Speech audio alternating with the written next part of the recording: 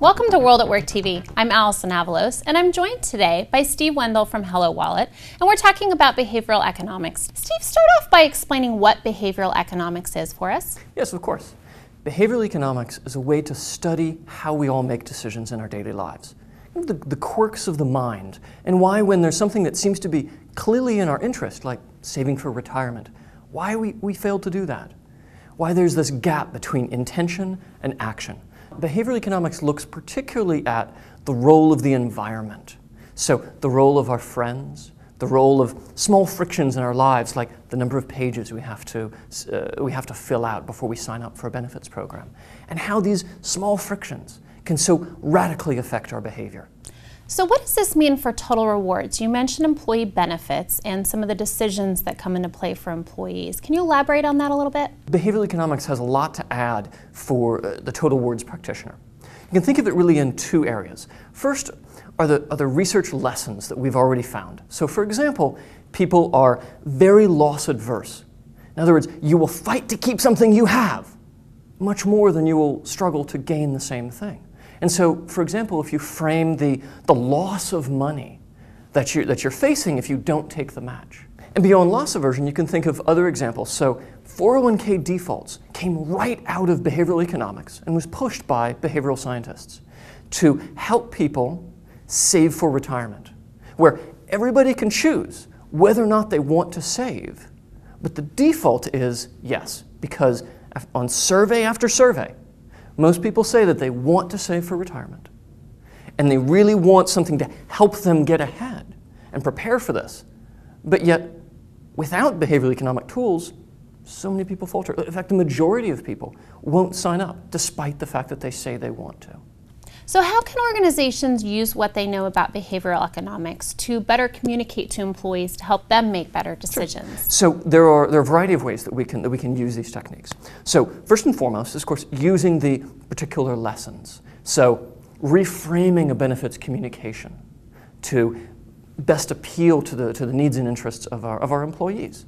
So, for example, um, talking about instead of uh, for an HSA, we all know the tax benefits, right? Problem is, we still keep on pushing the tax benefits in our communications and say, great benefits, great benefits, great benefits, but yet, okay, we know that. There's no added value. But if you look at the behavioral economic literature, it can show you, well, what are the obstacles that an employee might actually face? Are they problems of anxiety, right? Are they afraid that they won't have the money available for, for a medical emergency? They won't have that liquid money. They won't know how to use it. Or is it is a logistical problem? In other words, they're not sure how to sign up. Is it a problem of attention? Yeah, they really wanted to do it, but, they, but people keep on forgetting. Is it a problem of urgency? Uh, retirement is, is, is the greatest example here, where retirement is always important and never urgent, right? It's one of those things that you can always do tomorrow, and then when tomorrow comes, you can put off later. And we have busy, we have busy jobs and busy lives. There's so many other things that we need to do with our lives. And so behavioral economics can help us with each of those obstacles, whether they be problems of urgency, whether they be problems of inattention, whether they be problems of motivation, etc. And there are tools for each of those. Urgency, there are ways to, um, well, of course, creating deadlines, but also setting a particular expectation. Hey, this is the, this is the date to complete it. Problems of inattention. Numerous research studies have shown how effective just simple, basic reminders are. Not yelling at people, not telling them, hey, you're bad, you haven't signed up for your program, but rather, eh, we know everyone's busy. Have you, you know, here's a good time to do this. The second way that behavioral economics can really help is not the sexy research lessons. It's not books like uh, Predictably Irrational by Dan Ariely or Nudge by, by Thaler. Those talk about things like loss aversion, peer comparison, et cetera, the things I just, I just mentioned. The second area is much less sexy but also quite powerful, which is the research methods. Honestly, it's a way that we can find the obstacles that, that our employees face and how to help them overcome them in our own very particular circumstances. It's a simple, straightforward method for identifying an obstacle, finding the right tool, and then testing it in the field. Steve, I hear you talking about the opportunity to help an employee understand what they might gain or lose with a specific decision. But does the organization run the risk of being sort of threatening or negative if they do that? And Sure. is there an opportunity to maybe flip that around to help the employee better understand what might actually be motivating their decision in an effort to ultimately help them make the best decision for them and their family? Of course, of course. So it helps to think that in most cases, the reasons why there's this gap between intention and action, why, and we say employees, but really we mean all of us, right? Why all of us struggle to act when we want to, right? Why we don't actually take action. It's often not about costs and benefits. I mentioned loss aversion, that's one good example of framing, but most of the behavioral techniques we have have nothing to do with the motivation to sign up for a gym program or the cost, say your knees hurt, whatever it is. Instead, it's about hmm, maybe just simple inattention, maybe it's urgency, maybe it's a problem of procrastination, right? And so we look for ways that when the costs and benefits are already aligned, how do we help people take action? When they're always, uh, when it's already in people's interest. And so it isn't yelling at people about the, about the benefits, or for that matter, about the costs and saying, hey, this isn't really as bad as you think. That, that, that often turns out quite negative. Instead, we look at ways to facilitate action.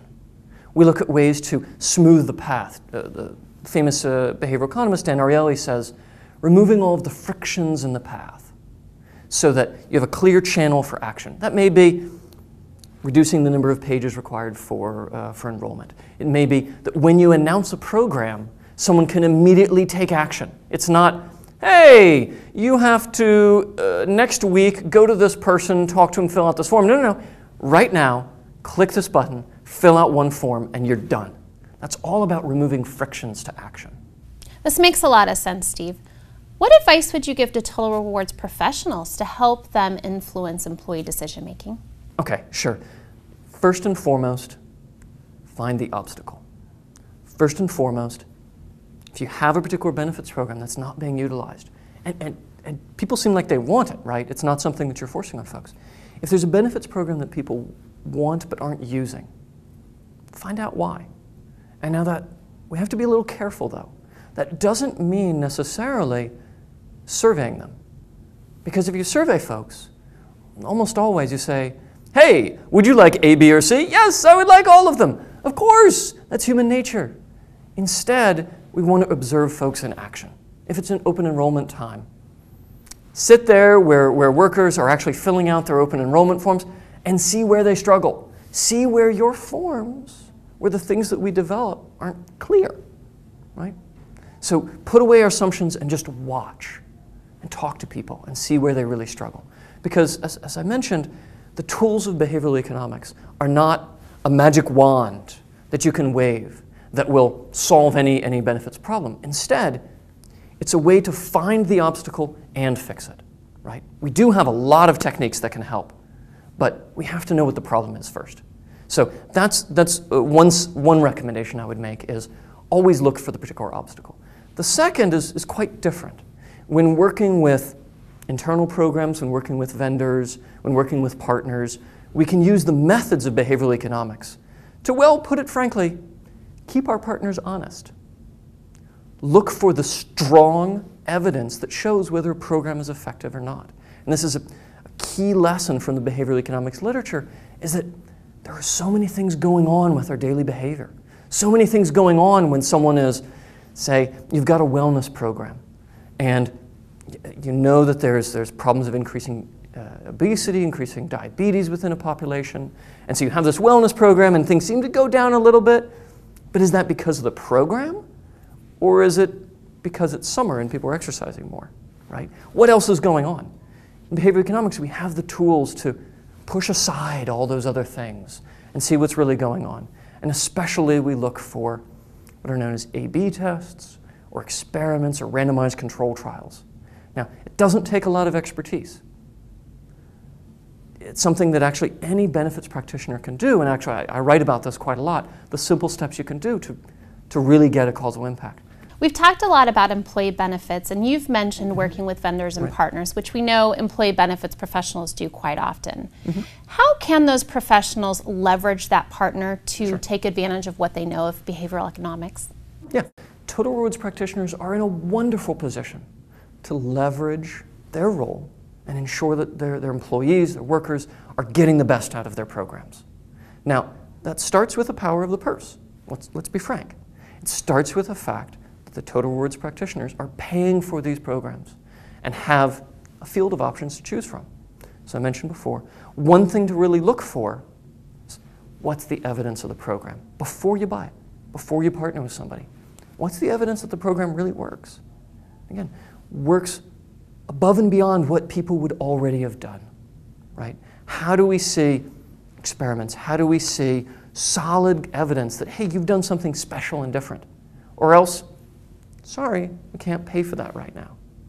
Or another option is, maybe if folks haven't, don't have that evidence right now, Total Rewards practitioners can partner with their partners, their vendors, even their internal programs that are developing these to understand what are the real needs and the obstacles that, that employees face and the behavioral techniques.